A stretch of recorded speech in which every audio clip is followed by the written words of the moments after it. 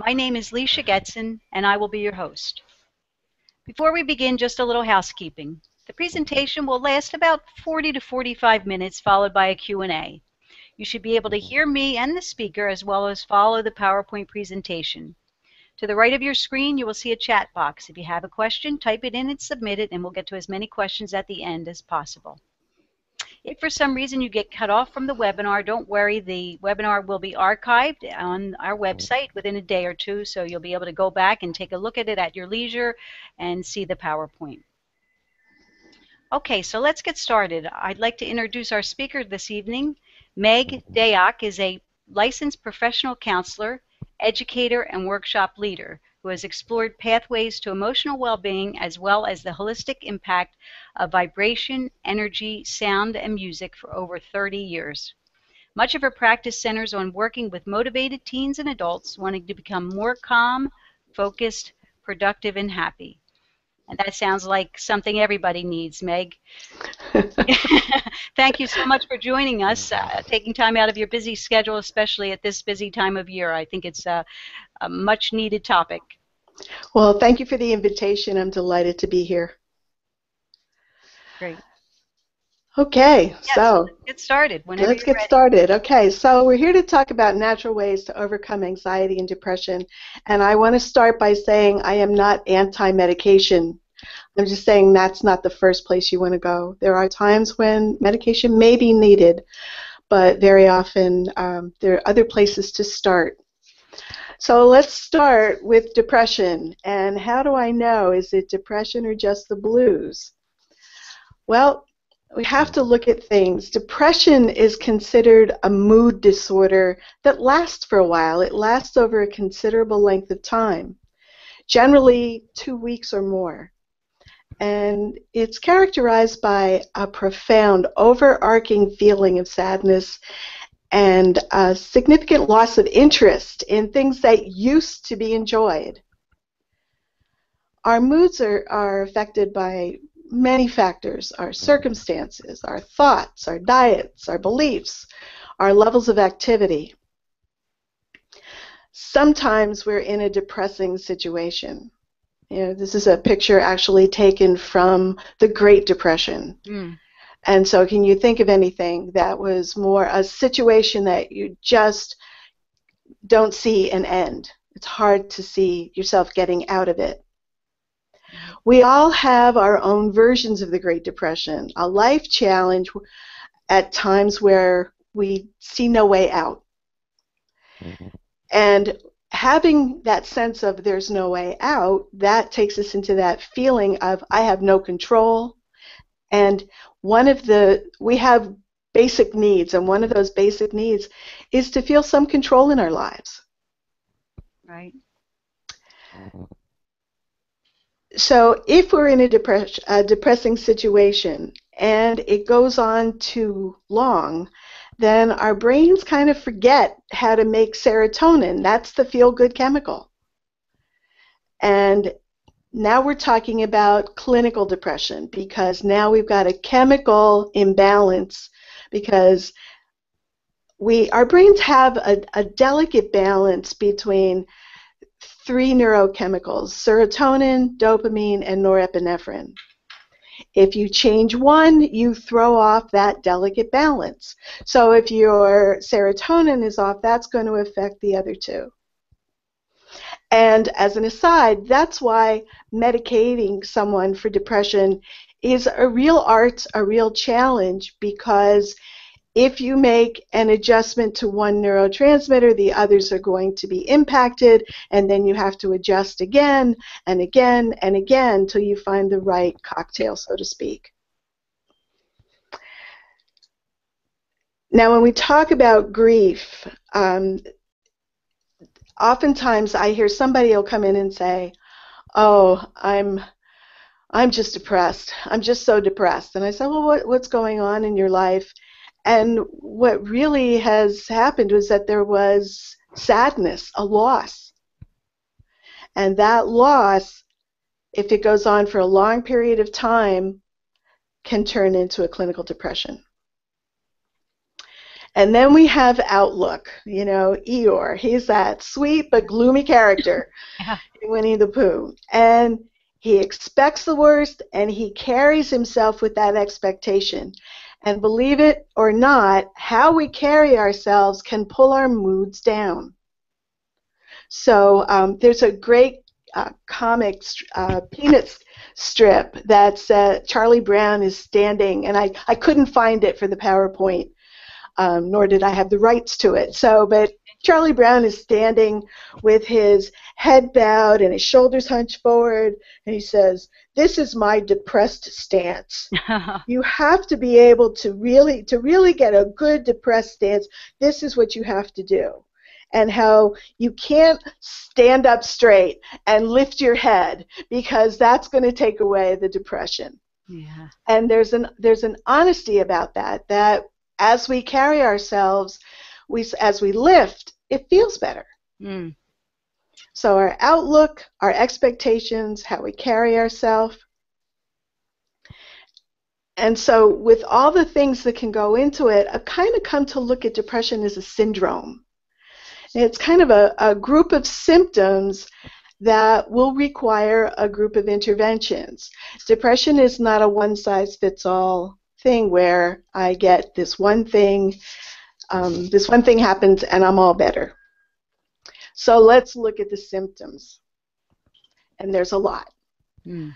There's how the mood is and that and it's the idea of persistence it lasts and anxiety can go with depression so you can feel anxious or you can feel empty hopeless pessimistic guilty worthless helpless loss of interest and this is really important the things that you used to do you're just not interested anymore Mm. and just being aware of that the the idea of decreased energy, fatigue, feeling slowed down, I just can't get going. hmm Concentration, really hard to the, the brain gets involved and it's having trouble remembering. And we'll talk about memory a little bit later. But just even depression, um, decision making is a challenge. Insomnia, waking up really early or oversleeping or sleeping too much, sleeping during the day, not be able to get to sleep at night. Appetite, weight loss, or overeating. It can be either. And more seriously, thoughts of death or suicide, or, or certainly the worst, making an attempt. Mm. Restlessness and irritability, and you see this a lot in teenagers. They tend to be um, they show more irritability often than they do the, the sad, depressed state. And then physical symptoms, things that just, you know, you don't know where they're coming from, all kinds of reasons. You go to the doctor and they're not diagnosed. So these symptoms that were listed, I found them on ADAA just to understand anxiety and depression. Um, it's also under, important to understand that the truth is these symptoms can indicate there are other things besides depression. And so you want to rule out a medical condition. And I have an example of I had a friend who turned into a really unhappy, irritable bear. No. And it wasn't until she was diagnosed and treated for an overactive thyroid that things started to calm down and she would she returned to herself. So thyroid conditions can change things. There are lots of things that can change. So it's important to have a a good medical um, examination and and talk about all the things that are going on. Okay, so what causes depression? I mentioned grief, grief and loss. Um, there's just some times in our lives when the loss seems bigger than we can bear, and it lasts for a, a long time. But I have a hard time saying two weeks and you should get over it. You know, the death of a parent, God forbid, the death of a child. These are things that are um, the closer the person is to us, the longer it's going to take to get over that. And to expect someone to snap out of it is unfair. And oftentimes we expect ourselves to snap out of it. May I ask Um, a question about that, Meg? Sure. I I have lots of. I'm writing down questions furiously. I don't want to interrupt because I'm. I'm sure you're. You may be going to answer some, but as far as earlier you said, if somebody is uh, suffering from grief, a loss, you know, the loss of a parent, or as you said, God forbid, a child. Well, that's understandable that they would be upset and grieving. But if that goes on too long, and who can say how long it's going to go on, right? Right. but that could clinically then turn into depression because they will stop making the serotonin that they need? Is that Um, that? Yeah, pretty much. And the thing is, with that, just understanding that um, it's it's necessary because because I'm grieving um, doesn't mean I should stop living. And so we have to kind of rely on our support system, and I'll talk a little bit about that to um, to get us moving. And not that we want people to say snap out of it, but that we do have to keep moving. We have to keep moving forward and living our lives so that we can get the chemicals working the way they need to. But some people absolutely collapse Yeah. and they just, you know, they can't get up. And that doesn't mean that the only way that they can recover is through medication. It just means that maybe this is just going to take longer and that's okay Yeah. and giving that permission. And um, I want to talk a little about that because I've seen this in the even in the last couple weeks. Um, I've heard more than three people talk about unresolved sadness and grief and say, I didn't have time to feel it. Hmm. And that's that's our culture. I don't have time. I just got to keep moving. Well, uh, I've got to keep moving, and if I'm going to suppress that, and we're understanding now that emotions are chemicals. They're neurotransmitters that, are, that run through our body. That um, Chinese medicine understands. Um, that's where we get a lot of our understanding from.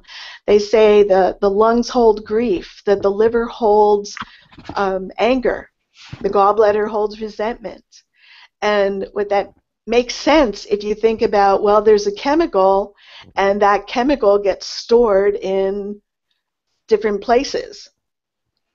And Yeah. so we have to we have to be able to release the emotion, process through it, Right. and be able to let it go.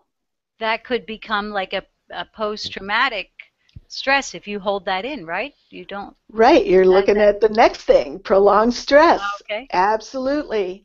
And there are, you know, there's one thing of having the, the deadlines of work and job, and I got to do the dishes and the laundry and all of that stuff. But to be under pressure for a long period of time can turn into, if not the disorder, the, the precursors of post traumatic stress.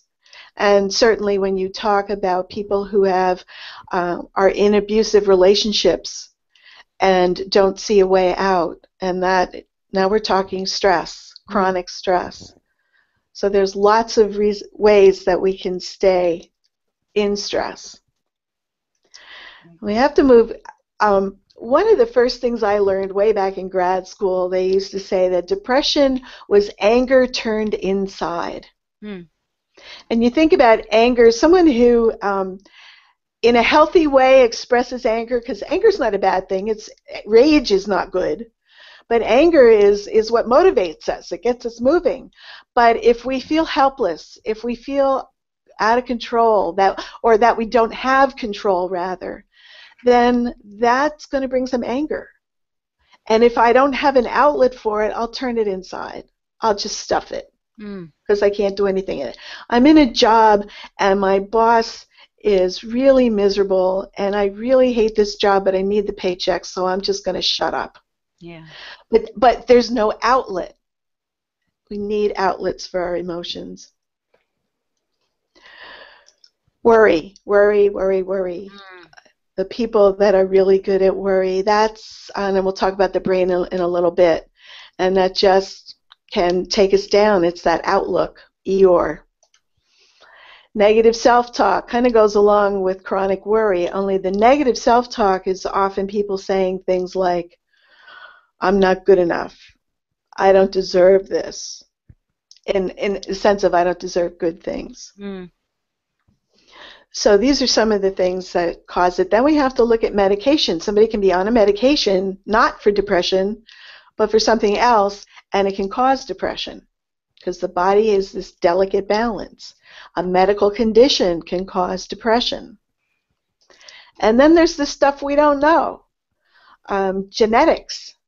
People that, um, if there's a family history of depression and anxiety, those things kind of show up. So that we don't know all the causes of depression, but we you can get a good idea of what some of them are. Yes. Before we move on, I want to talk about substance abuse. One of the reasons that so many people are on medication for depression is because, as a culture, we're always looking for the quick fix. And many people try whatever they can to just feel better fast, like right now, please. Mm. So, and it's ironic that many people, especially men, turn to alcohol when they feel depressed. And the irony is that alcohol is a depressant. In small quantities, it may loosen inhibitions and somebody but when somebody feels really bad, a little is never enough. Yeah. And you can't give the nervous system a boost with a depressant. So the depression becomes more insidious, more severe, more in there, and you get a cycle. Now there's my friend marijuana. I used to, like I said, I, I used to work with teens. And invariably, those that were involved in, you know, um, getting arrested for marijuana and things like that, they would always say that how it helped was that it helped when they were stressing. And so they were essentially self medicating. Mm. And that's the problem. The problem is that it often helps. Right. And it helps in the short term because and that's why people use it. right. But if you don't learn to manage stress and distressing feelings, the problems not only remain, but then they become deeply entrenched because you keep covering them over with the substance. Makes sense. And then we get into the other side of things that substance abuse, sub, abuse of any substance, um, can le- lead to depression, and, and it becomes a vicious cycle. Remember, the drugs mess with that delicate serotonin, dopamine, norepinephrine balance. So, addicts will sometimes tell you they don't do drugs to feel good, they do drugs to keep from feeling bad. Mm. So that self-medication is um, something that happens all the time. Okay, so now that we're cl- clinically depressed, what do we do? So if we decide that the quick fix method is just maxing, masking the problem, and whether you take medication for depression or um, illicit substances or legal substances, you're still masking the problem. So if we want to make real lasting changes, there are some things we can do. So I really like this quote because it comes from someone who has suffered his own bout with depression. He knows it from the inside out. And so I really recommend his book, Unstuck Your Guide to the Seven Stage Journey. And he was actually in medical school when he suffered a serious clinical depression. And then years later, he wrote the book. And so he's saying depression is not a disease, it's a wake up call and the start of a journey that can change and transform our lives. So here's where the rubber meets the macadam. Mm. Change, transformation, that's scary. Yeah. if you really feel depressed, the idea of putting effort into anything seems impossible. It's just, it feels overwhelming. And depression does not tell the truth, it lies. It says to us, we can't, we're not worthy. The things that run through the depressed mind seem true, but they're not. And one of the first things to that we have to learn to do is challenge those lies. And that's one area where a good counselor can come in and, and help to bring in some reality. Mm-hmm. It's also important to remember that not all of our thoughts are truths. You know, yeah. like Mark Twain, many of us have spent a lot of time worrying about things that never happened. Mm. You know, so we, we have to look at those things, manage those things. Okay, now we come into a tiny little bit of neuroscience. Okay. Okay. So here's some brain information to remember. That yellow, and ooh, look at that, I can highlight oh. that. Right where the uh, right where that yellow is, that's called the prefrontal cortex, and there's one on the right side and on the left side. Now, the um, and and I also I always think that this is God's little joke because this is the last part of the brain mm-hmm. to um, to wire itself, and this is where the decision making process it's called the executive function is over here. So I work with teenagers um, who are not, you know, this isn't wired very well for them. So to remember that that poor, it's poor decision making. Poor decision making, exactly. Okay. And you know, they would invariably go home and say, "Well, Meg said that my brain's just not." and I said, "Yes, and it's like a muscle. You have to exercise it." So. And by that you mean for them to start making mm-hmm. decisions? to, be, to be aware of it, first of all, is important. That's fascinating, really. That's a fascinating piece of information for people dealing with teenagers. Yeah, it's important to understand that because you know they're not trying to be stupid. Right. Just, right. they, you know that impulse gets there much faster yeah. than the, the decision. Like hmm, maybe this is not a good idea. So, okay, so we've got the right brain and the left brain, and um, one of the things that we found out was that the um, the left side seems to have a more positive outlook than the right side. And it's interesting because the um, how they found this out with was with stroke victims. People who had damage to their right, which meant their their left lobe was good, they tended to you know be able to take things in stride better. But people who had damage to the left and were only activate only working off the right had that oh, woe is me, and, and that real pulled down idea.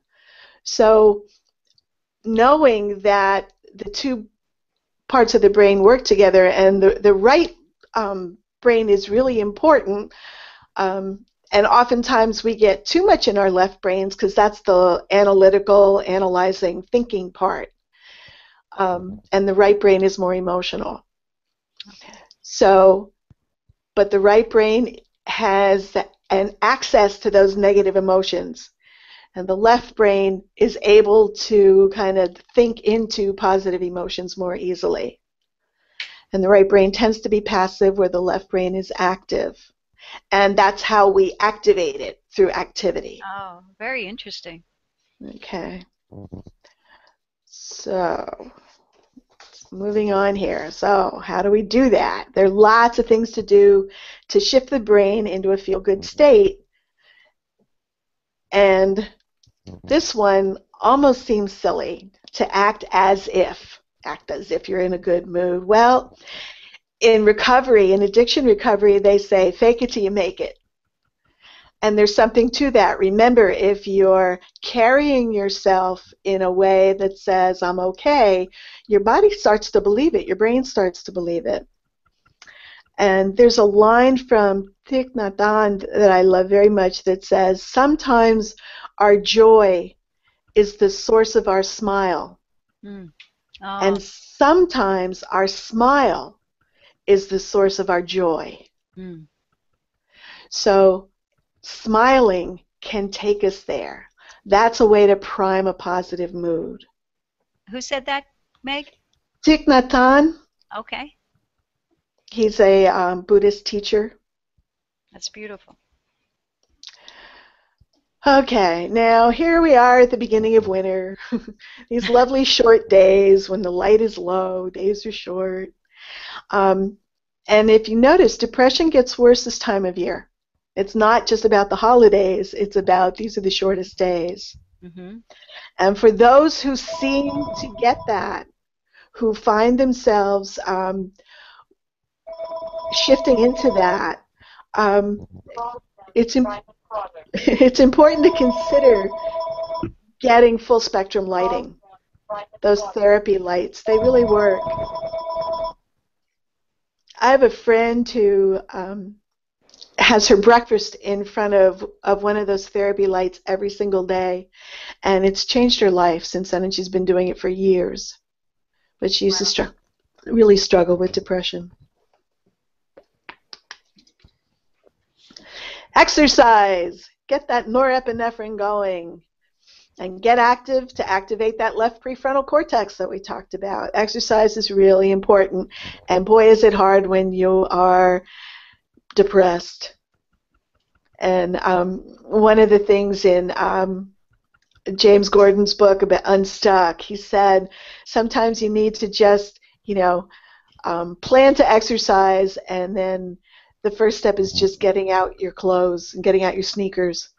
And maybe the next day is just putting on the sneakers and, and cutting yourself some slack to understand that we what we're doing is is fighting inertia.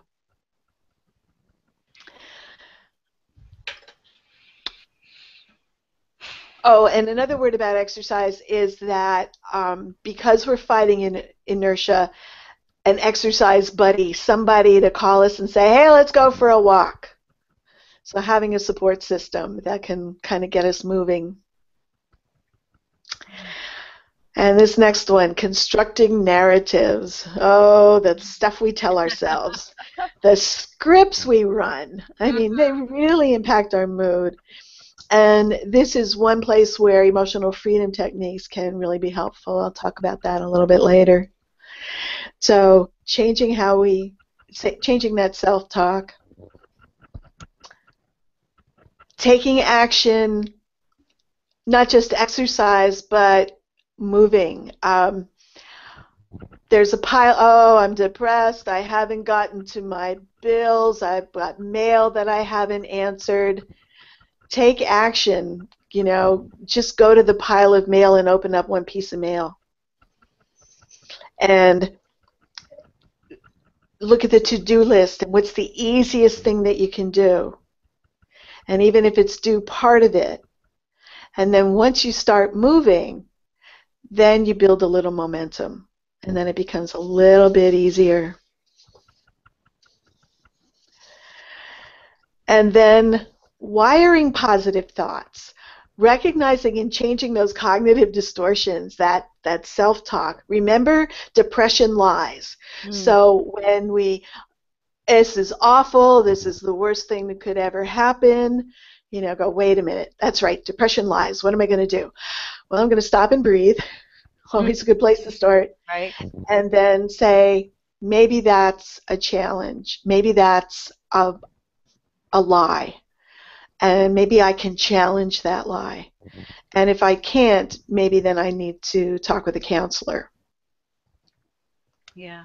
We, we believe those lies so much though when we're when we're depressed it seems like the absolute truth It's exactly true. yeah yeah Yeah. the things that you're saying you know uh, just getting up moving exercising will create breathing you know and the breath will uh, will help with your brain and all of those things and you know getting outside even you can't uh, you can't claim it's too cold out to walk right it's Not, not right 60 now, no. out, so yeah I, I think about the the Waldorf school. Um, those kids are out in all weather. mm, It's never too well. You know, I may there may be a day where it is too cold when the you know if the wind chills down to 12 below, but generally they are out every single day, rain or shine.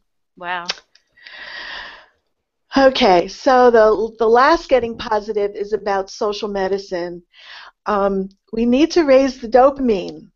You know, we need dopamine to feel good, and that's what we get from people. We also get hugs give us oxytocin, which is a good thing, and even introverts, you know, because I'll, you know, work with people that are introverts and what, you know, I'm not comfortable around people. Well, even introverts need to be around people. We're social animals and we need our pack. And if we don't have a pack, that leads to depression. Mm.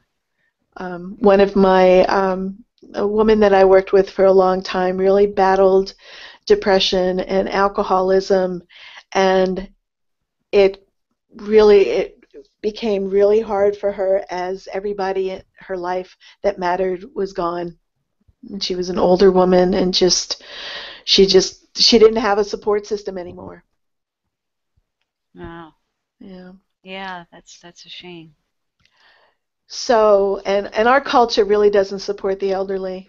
You know, uh, we, yeah. we don't we warehouse them unless they have money, and then we put them in cool places. Yes, and they get to go in really cool places. Yeah. Yeah. So another book that I highly recommend is called Rewire Your Brain by its neuropsychologist John Arden. And not only does he give these great suggestions, but he discusses also how diet impacts mood. Mm. And speaking of diet, some research has found that vegetarians reported being less optimistic about the future than meat eaters and they were more likely to report depression and to suffer panic attacks and anxiety. So there's some, you know, there are things that we get that vegetarians may not be getting if they're um, not getting enough meat or the whatever the, the things are, and that is totally out of my realm of expertise. So I just mentioned, you know, learn more about it, and John Arden talks about it, and there's new stuff coming out every day. When you say you're when you say a pa- you're packed, like people need packs, that doesn't necessarily mean your family. You're you could have a, you know, maybe you don't get along with your family members, but that's still, a really that's a really good point. Some families are, I'm sorry to say, too toxic to yes. to be around, but finding people that you connect with, and it doesn't have to be a whole lot of people, you know, but just having social interaction getting out there, meeting people. And we have things like Meetup, where you can yeah. find so many things online that everybody's got an interest in something and you can connect. Mm-hmm. So, as much as people decry social media and the internet and things, there are some real positive things that can happen. But being in the presence of someone is not the same as connecting online but if online is all you got, it's better than nothing. It's better than sitting with the covers over your head. Right.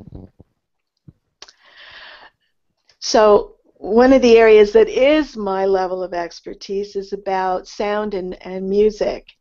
And there are, um, not too long ago, I, I worked with someone who he just didn't want to do the emotional work. You know, there was there was stuff there, there was trauma, but he didn't want to go there. So I said, you know what? Hum. Just hum. And what that does is creates a buzz inside the body, it, a resonance. Mm, if you do that for a while, it starts to build up. And I learned um, years ago that I could manage pain with the sound of my voice. And at that time, my theory was that I was um, getting endorphins, releasing endorphins, and that's been proven.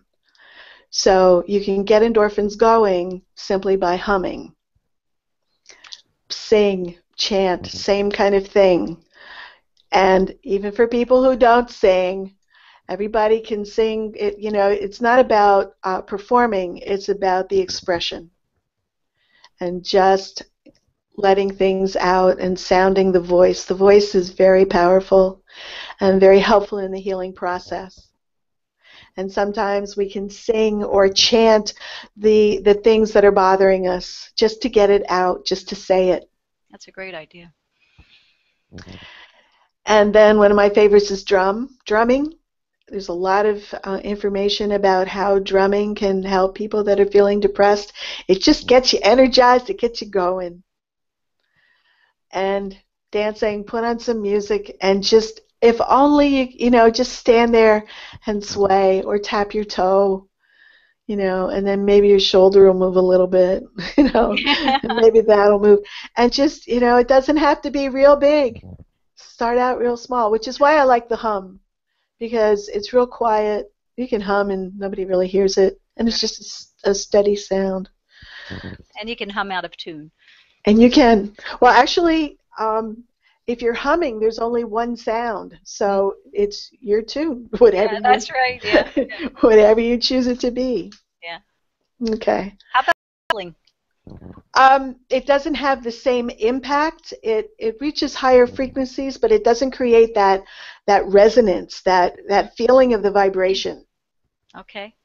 And um, another piece that's important. One of the I recently did a study about um, chanting Om, and that what that does is activates the vagus nerve. And I haven't talked about the vagus nerve, but it's um, it's really important in in all of this, especially in stress, that um, it's the where the vagus nerve enters the body. The vagus nerve takes information in from everywhere and feeds it in from from the gut, and it feeds it into the uh, the brain stem where the switch is between the um, parasympathetic and sympathetic nervous system.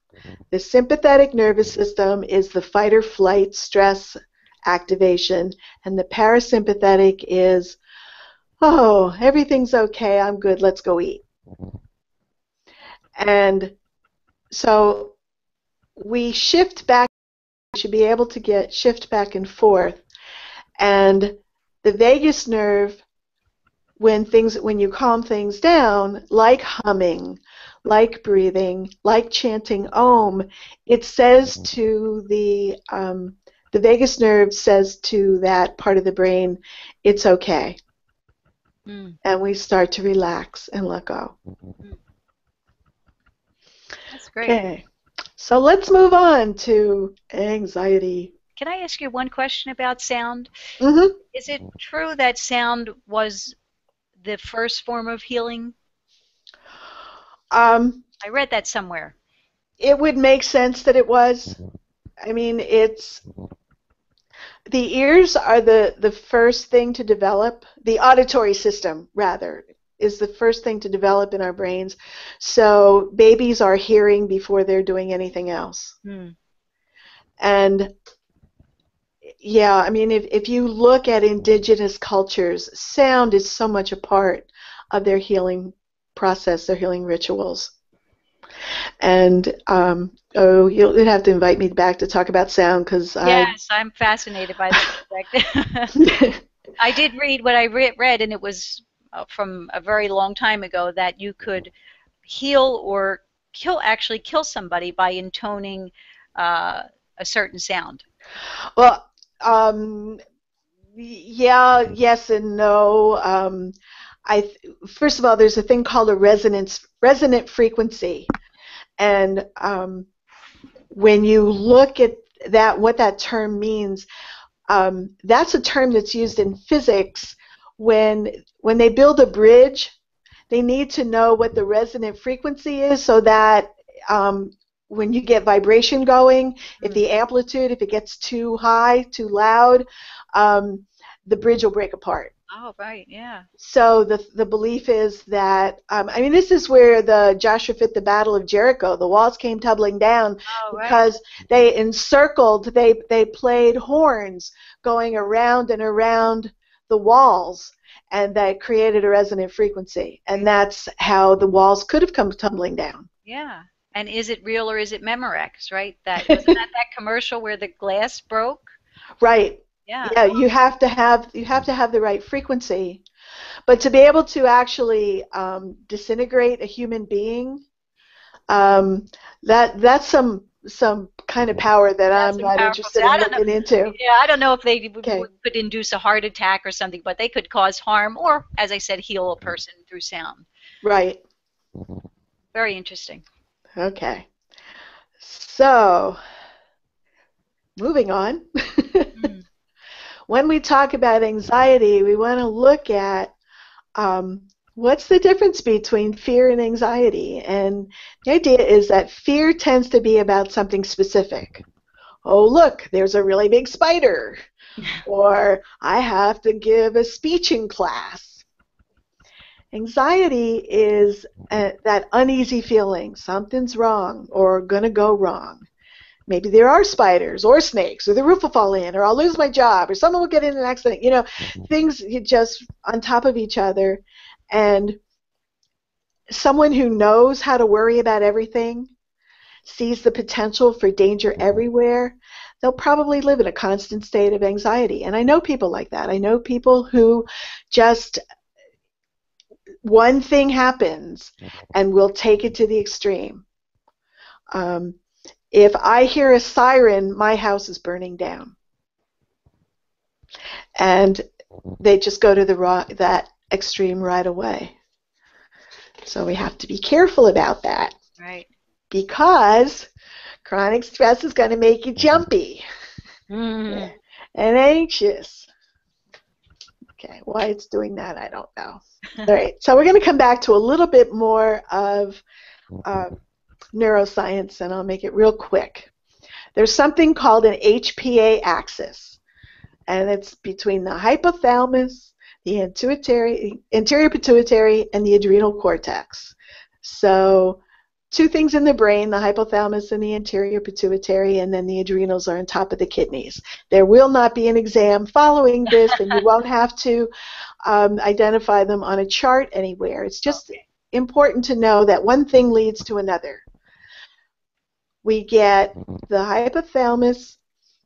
Its job is to maintain balance, homeostasis, and it gathers information from the central nervous system. And it releases neurohormones that talk to the pituitary. And they tell those hormones, say, you need to start secreting or stop secreting your hormones. One of the hormones that the pituitary sends out is ACTH. We don't have to pronounce it. And that stimulates the adrenal, adrenal glands and it says, make cortisol. Mm. And it's cortisol that creates that jittery, scared feeling. And it some and it sometimes it feeds back to the thalamus and the pituitary because that's information. I feel jittery, so something's wrong, so I'm going to make more cortisol. And it just we just go in a cycle until something steps in to say, "Hey, it's safe now." So cortisol in small doses, it's a really good thing because we need it if there really is an actual threat. We need to be able to um, dodge the car that need, need, you know almost hit us. Um, but if that is happening all the time, it depletes dopamine. Remember, one of those three magic neurohormones: serotonin, dopamine, and norepinephrine. Then, if it's prolonged, cortisol starts to shut down a place called the hippocampus, and that's the place where we build memories. So it affects memories. That's why it's really hard to remember things when we're stressed. Oh. The other side of it is that the hippocampus shuts down, but this little guy called the amygdala, or two little guys, get hypersensitized. So the little red dots in here, those are, we get one on each side, that's the amygdala. And they sit on top of this thing called the hippocampus. And that becomes important when we talk about trauma. Um, um, the amygdala primarily deals with the emotions of fear and anger.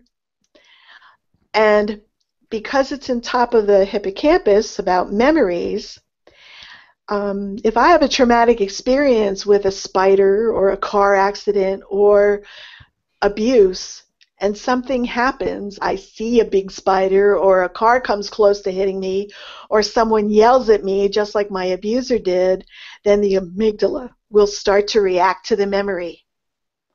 And it's reacting to the the there's a go-to reaction to those things. And the more traumatic the history, the more reactive somebody becomes. Mm-hmm. So we need to calm the amygdala. And one of the ways is to start to get a conversation going with that prefrontal cortex that we talked about before. Get a pathways going. So some things are at play, like take action. And the first action is to breathe and to do some self talk to just say, oh, wait a minute, this feels like that, but this isn't that, and I'm safe. This may feel like um, that person who yelled at me when I was in third grade and made me embarrassed and afraid to um, say what I'm thinking, or that's that's not this, and I'm safe.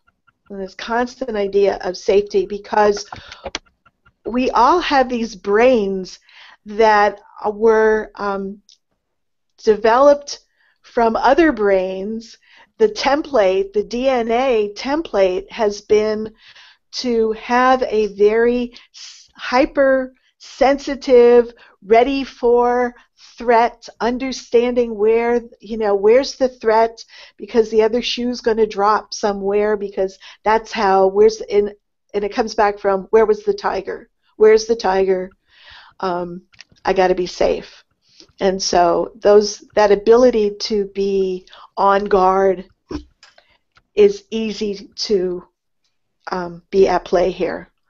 So using breath and self-talk. And there's a point in the middle of the breastbone, right smack dab in the middle, and there's a hollow there. So it's a, a place to, we actually, when you point to yourself, it's kind of like right where we go. And a lot of the acupressure points are, are intuitive.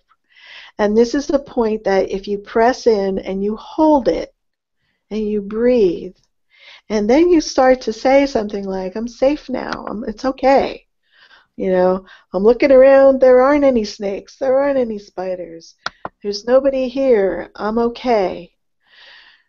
And that self talk starts to create a connection with the prefrontal cortex that says, yep, everything's okay, it's okay to relax. And so we start to, to create a better, um, a, we interrupt the short circuit that happens when the amygdala reacts to something like an old memory. And so we get our thoughts involved in it. That sounds a little bit like the tapping. It does. and the, the tapping, and, and we're kind of at the, the end of things. So um, I got into, um, actually, I started as a music therapist, and my job turned me into a social worker slash counselor. And then I learned this thing called emotional freedom techniques.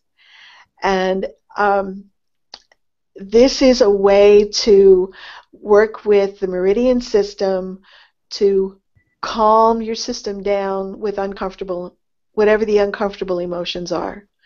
People who have unresolved sadness, we can we can get that, find out the things that are holding us back. Usually, we don't uh, resolve so- sadness because there's some kind of um, unconscious belief about it. Same thing with anger. I can't let go of this, or I don't want to. And so the um, the work that I enjoy is the detective work about what is that? What's what's the the belief that's going on that keeps me stuck in that that holding pattern? And how do I release it? And once we release it, it's it's pretty, it's um, unbelievable how quickly. And um, the most recent event that I had was I had a woman who came to me um, um, her her daughter found me in the Natural Awakenings magazine, and she called and she said, I'm really worried about my mother. And the mother called me and she said, I'm really scared. I've never been like this before. And she came in, and the very first session, we found out that there was unresolved grief and anger. And we cleared it. And then the next session, we did some check in to make sure that that was clear and was still holding. And she found another event in her life where there was some deep sadness and we cleared that. And then the third session, we focused on making concrete steps to um, clean out a place that had gotten in her in her office that had gotten out of control. Mm. And the only reason she came back for the fourth session was because she felt obligated to because she scheduled it. But she said she was fine. She was back to doing the things that she wanted to do.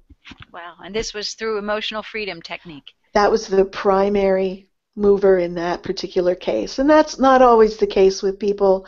Sometimes it really is a lifestyle thing. Diet is off, exercise is off, mm-hmm. attitude is off. You know, there's a whole right. bunch of things that are out. And one but, leads to the other and to the other to the other. Exactly. Yeah. Can you just explain explain explain emotional freedom technique a little bit? Well, um, some people call it meridian tapping. And basically, the idea is that you find the feeling, identify the feeling, and then you tap on specific acupoints or meridian points. And during the process of the tapping, the the feeling, the um, the energetic charge starts to dissipate. Mm. And so suddenly I can think about that thing and I don't have that feeling that I was having. Okay. Hmm. Okay. And um, another thing, vibra- I do vibroacoustic therapy and brainwave entrainment because sometimes people are just locked into what's known as a beta pattern, especially people that are thinking all the time. They're ruminating about this and that and the other thing, and they're depressed, except the brain is going nonstop. And helping to shift into a slower brainwave state. And the first state that someone has to get into is an alpha, going from beta to an alpha state. And breathing and, and some of the uh, tapping techniques and also just acupressure will help to to get that to happen. But some people um, experience, you know, find that the brainwave entrainment really helps them to disengage from the, the thoughts. That sounds um, that sounds fascinating and wonderful because so many people are wired so wired today. Uh, so yes. that, that's what we're we can implement something like this to kind of shut our brains off at the end of the day and get some sleep. Yes. Yeah, there there are lots of. Um, um, I'll put a plug in for my friend Jeff Thompson in California, Center for Neuroacoustic Research. Um, it's his equipment that I use, and I use a lot of his CDs, and um, he's got a like a six CD thing where you can um, go from go get into alpha and then theta and then down into delta with the deep sleep, but also some other cool things in there as well. But being able, Jeffrey Thompson. Thank you. And um, being able to access these different brainwave states, you know, when we're kids, we can do them, and then as mm-hmm. we get older, we kind of forget how to do that. We kind of train ourselves to keep going, keep thinking, keep plowing through, and then the brain goes, "Huh?" you know, and and you know that, and that's a that's the downside of the left brain where if you're thinking all the time um, i liken it to you know if somebody's doing um, a project and they're thinking about it and you know crunching numbers or writing something that's a very left brain activity. And if you do that for a long period of time it's like hopping on one foot. Mm. so you have to stop and shift to into the right side. And the right side is is more um, visual, global, um, art, music, those kinds of things.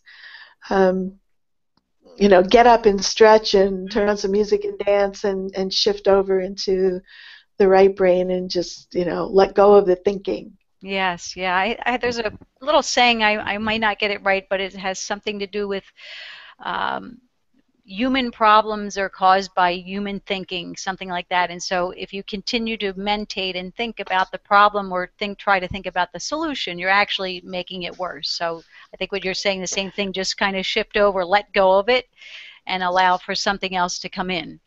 Right. Yeah, Einstein said we can't solve a problem at the same level of consciousness we created it. So it's a, or something to that effect. Right, exactly. It's the same. So if I'm if I'm in a worry state, then I'm not going to be able to problem solve my way out of that. Right. So yeah, and that's our natural kind of. Uh, that's what we do, right? I mean, we try to worry or think our way out of it. Right.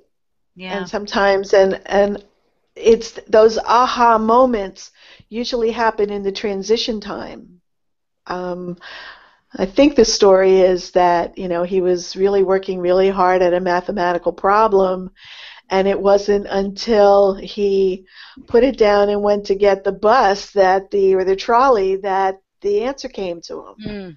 So that aha, those aha moments come when we're um, are, as the brain relaxes, the um, as actually as it slows down the uh, we come to have more of a whole brain synchrony so that we have more access to more of the brain at one time mm. if so the more focused we are that's the you know um, i can't see the forest for the trees and sometimes i can't see you know anything but you know there's a groove and there's an ant and i can't even see the, the tree yeah. anymore right so to be able to pull back the lens slow the brain down. And now I have access to more of my brain where there's other information. And so that's what meditation does. Yes. And so that this vibroacoustic, it, does it put you in somewhat of a meditative state, taking you through the different stages? Yes. And for people who have a hard time meditating, this is a good way to kind of learn, to retrain the brain how to do that. Oh, that's how that feels. Okay. And the vibroacoustic piece is that um, the chair or the bed mm-hmm. are hooked up to the sound system and have transducers and they vibrate. And so we're accessing that, um, impacting that vagus nerve again, which takes the information and says, oh, time to relax now. Mm. And so it helps to relax the body, the nervous system, and calm the, the whole brain and, and create more of a brainwave synchrony. That sounds wonderful. And what are vocal energetics? Well, that's using the voice in a, a, variety of different ways. I mentioned before that I, I, I use my voice for humming, and I learned how to manage pain. Um, I, I stressed out, I burned out of my first profession, and there was a lot of physical pain as a result of that. It was a very physical job. And as I um, was recovering from that, there was a lot of pain, and I found that I, before I went for aspirin or anything, I would just hum, and I could get a, a vibration going.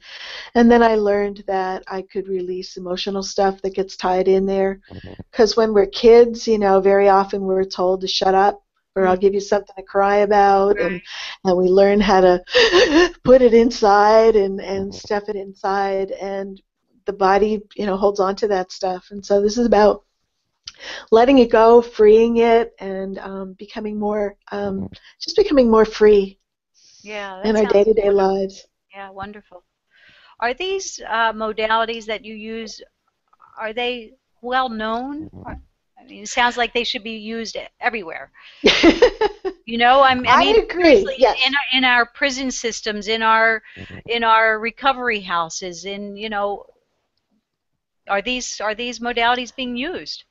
Um, I'll tell you that emotional freedom techniques is finally getting some traction, and and also to understand that EFT is a the emotional freedom text EFT is a is kind of like the tip of an iceberg that is a brand new field called energy psychology, oh. which works with the body's meridian system, the chakras, the biofield, mm. with intention, with understanding that we're energetic beings.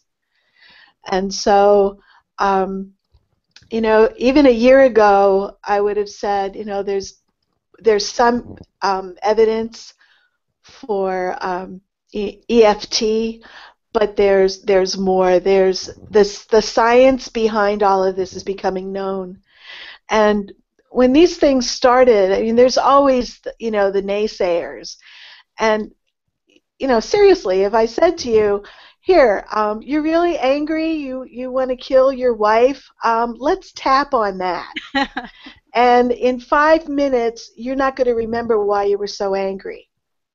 Yeah. Um, that's unbelievable. Yet I've had that experience. I, I had it. You, have, yeah. you know, so and and that's what drew me to it. I had my own experience of having a panic attack, and that's a long story. Mm-hmm. Um, but I had a panic attack, and and I remembered that I had learned this thing called EFT, and I sat there and used it, and suddenly I wasn't panicked anymore, and I knew that what I thought um, I thought I had burned down my house because I left a, a brand new curling iron on, um, and on a newspaper on my dresser, on my wooden dresser. Oh wow!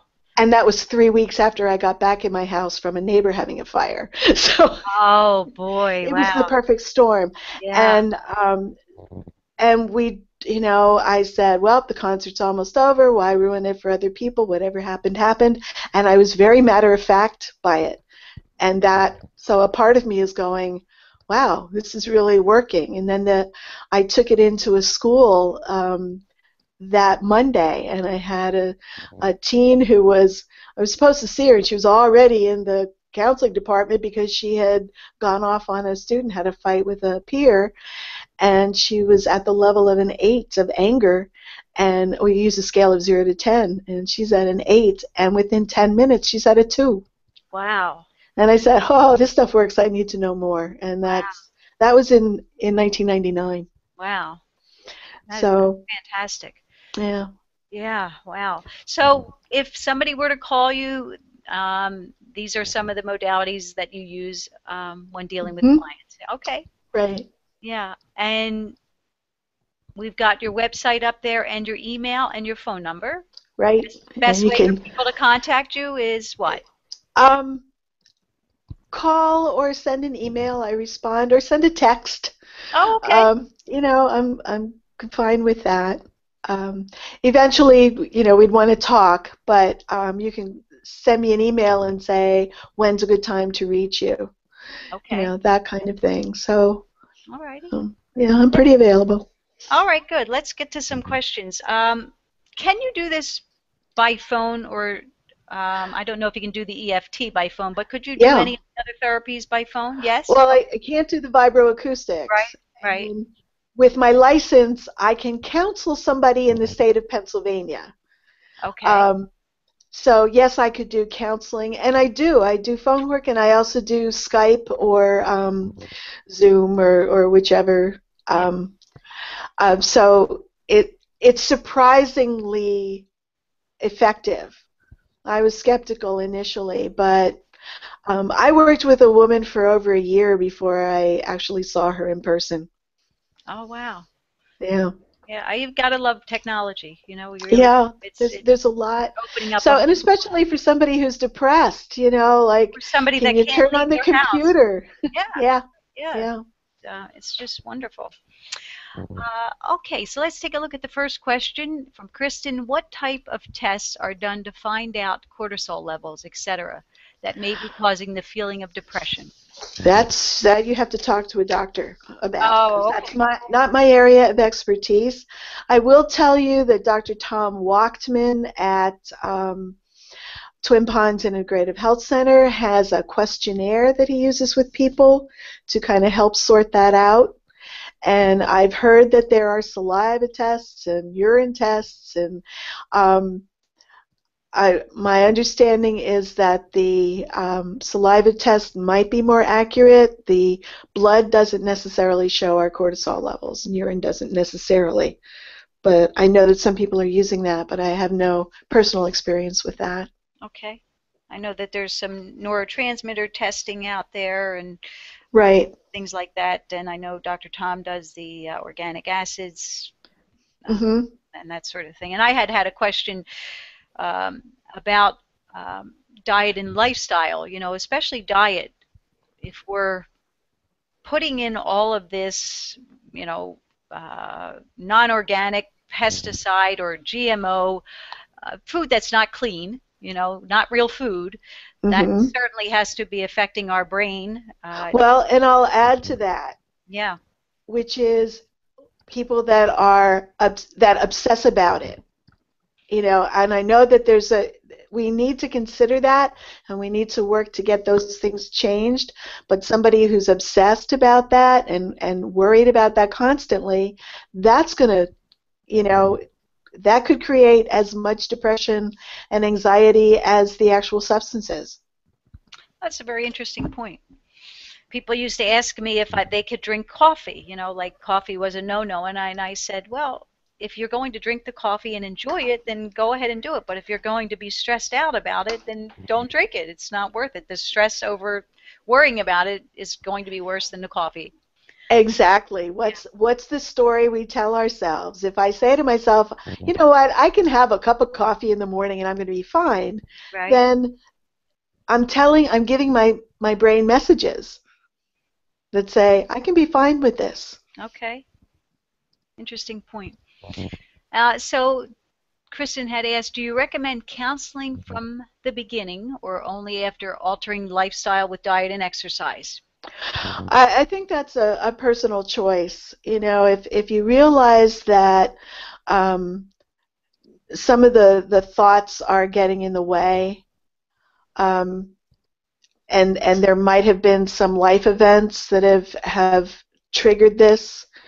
Um, even if you suspect it, you might want to, you know, start the counseling just to um, just to get it going. And and actually, and I would recommend someone who who does what I I do along the lines of, this isn't. Um, I say this isn't your mother's therapy. This isn't let's sit and talk and dredge it out and talk about it for 27 weeks. This is, you know, what's going on and, and let's clear it. Like I said, the the woman who, you know, after three sessions she really was fine. Now that's that's an unusual case, but um, I have worked with people, you know, for as little as six to 12 sessions and um, and they're done. It, Wow. it depends on the, you know, um, we all have stories, and some stories are are a little more intense than others. Right. Yeah, but I love that you're actually you're dealing with it and hmm letting it, working through it and letting it go, not just rehashing and rehashing. Exactly. Yeah, that sounds fantastic. Jan asks, are you familiar with whole tones? Oh, I'd have to know more about the the context. Um, yeah, because if you if you say whole tones, um, I, I don't know what that means. I know there's things out there like the solfeggio, and I'm um, I take that with a huge grain of salt, um, simply because I'm not sure how they came to um, uh, to identify those tones and how they say they identified them from chanting. Well, how do they know? Well, you know, um, so I'm skeptical. I'm open-minded, but I'm also um, skeptical. But whole tones, just by itself, that um, I don't know what that refers to. Okay, and it's I don't I've never heard of it either, and it's uh, it's spelled all one word, whole tones. Whole tone, W no. W H O L E tones. Yeah, no, I'm not. Okay. Um, I'll look it up though now. Okay, okay, good.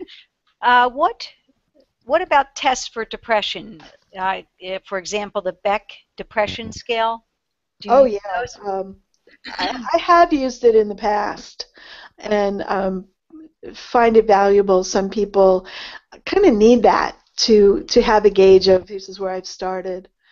Um, and yeah, I the, the cognitive piece. I mean, that's the one thing that the the gift of the Beck inventory um, and and Beck's work is really that cognitive approach.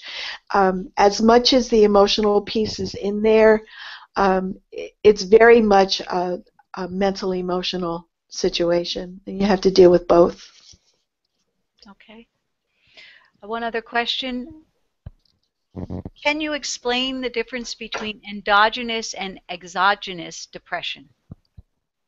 Hmm. Well, um, by virtue, I mean, it's not a term I'm familiar to using, but just by virtue of endogenous means inside, so it might be something that's going on inside that's created the depression and um, the exogenous would be outside the body, so it might be that situation that we can't control, mm. um, or something you know that we ingest that creates it. So, you know, a medication that creates it, something that's out, but endogenous would be something's going on inside that, and it could be in a, a mental state, it could be an emotional state. Or it could be, you know, there really is something that went wonky with, you know, the, the neurotransmitters.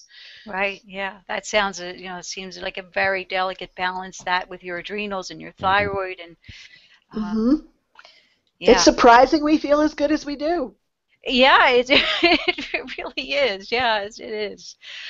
Well, thank you so much for this information. Um, I've really enjoyed this. You've you've uh, given us some, I think, some mm-hmm. tools that we could implement right away, just faking it till we make it, getting up, move, moving. Oh, it's a great one, right? I mean, yeah, it, smile. Standing up when you're standing up straight, mm-hmm. you're breathing better. You're, you mm-hmm. know, all of those things. And so, um, humming, I like that. Um, I'm going to start humming around the office. I, I do find that now that I have Pandora on in my office every day, I, I am much more productive and I um, my days are, you know, I'm happy. So yeah, yeah, it that's worked. great. Yeah. So thank you very much. I'm going to leave your um, contact information up there, but it's www.lrsoundenergy.com. The phone number is 610-504-4830, or you can reach Meg at meg at lrsoundenergy.com. Meg, thank you very much for joining us this evening. Oh, my pleasure. Thank you. So next month, on January 27th, we'll be talking about uh, detoxification. We'll be uh, exploring ways to gently detox and how to lessen the load for uh, mm-hmm. better health and vitality. This webinar from this evening will be archived in a day or two. You'll be able to find it on our web uh, website. Mm-hmm. So I want to wish everybody a wonderful, happy holiday, uh, stress stress-free or a little less stressful holiday and a uh, wonderful new year. Again, thank you, Megan. Good night, everyone. Good night.